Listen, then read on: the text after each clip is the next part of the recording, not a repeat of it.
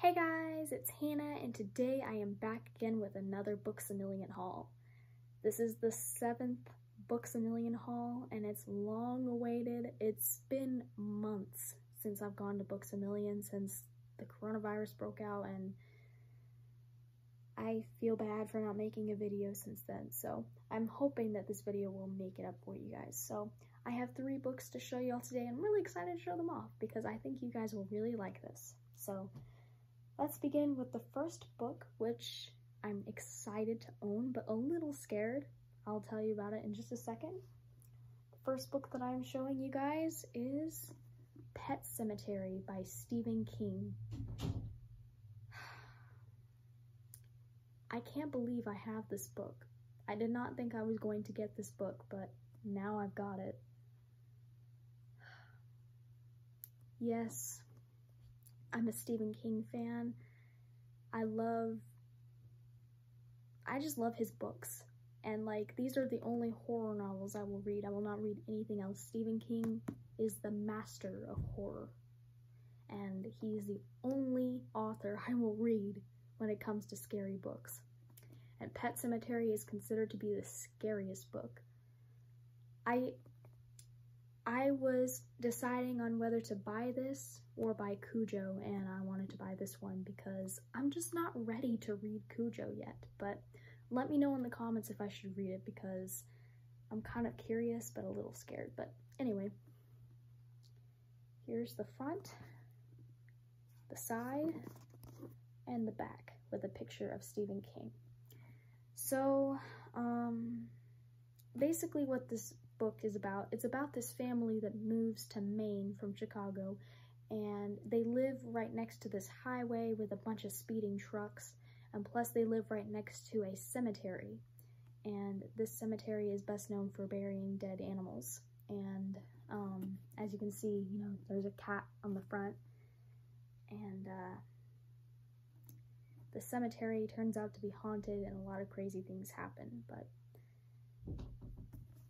yeah. Yeah, this is a big book. Well, I wouldn't say it's big, but I don't know. I'll have to find out when I read this, but yeah. Pet Sematary. Alright, the next book we have here is Conceal Don't Feel by Jen Calonita. This is another Disney Twisted Tale book, and I think that this is the seventh book in the series because I also have Mirror Mirror, but now I've got this one. And it says on the front, what if Anna and Elsa never knew each other?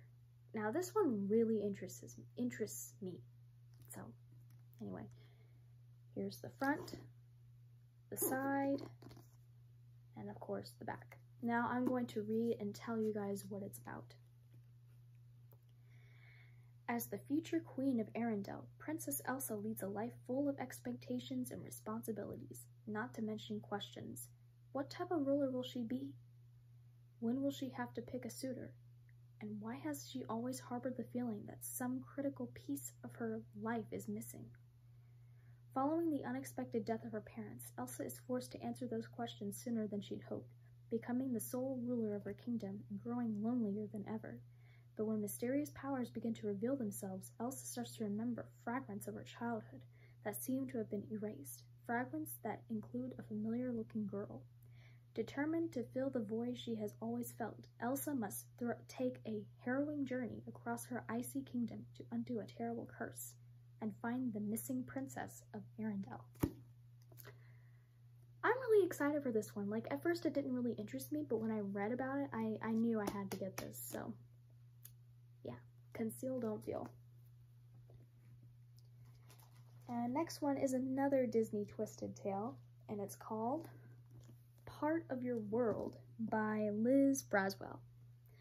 And I think that this is the fifth book. I don't know.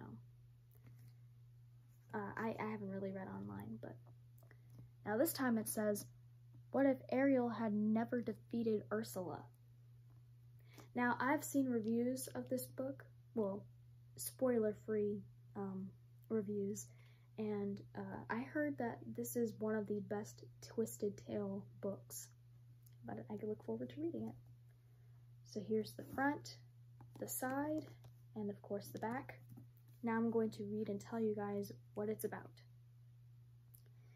It's been five years since the infamous Sea Witch defeated the Little Mermaid and took King Triton's life in the process. Ariel is now the voiceless queen of Atlantica, while Ursula runs Prince Eric Kingdom on land.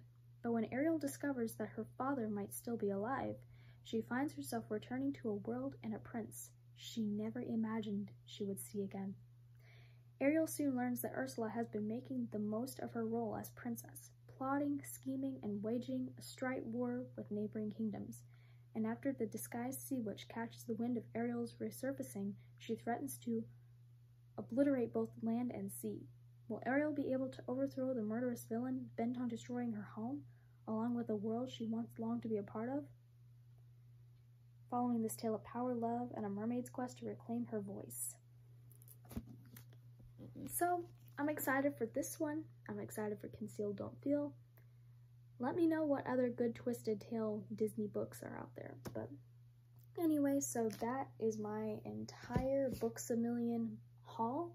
I'm really excited to check out these books. As soon as I get Clash of Kings done, I might read one of these books. I might read Pet Sematary, I'm not so sure, but I was thinking about finishing off the Song of Ice and Fire series before I started regular books, but now I, I think I should take a break from the Song of Ice and Fire and focus on different books. But anyways, thank you guys so much for watching this video. I hope you guys enjoyed. Please leave a like and comment and subscribe, and I will see you guys next time.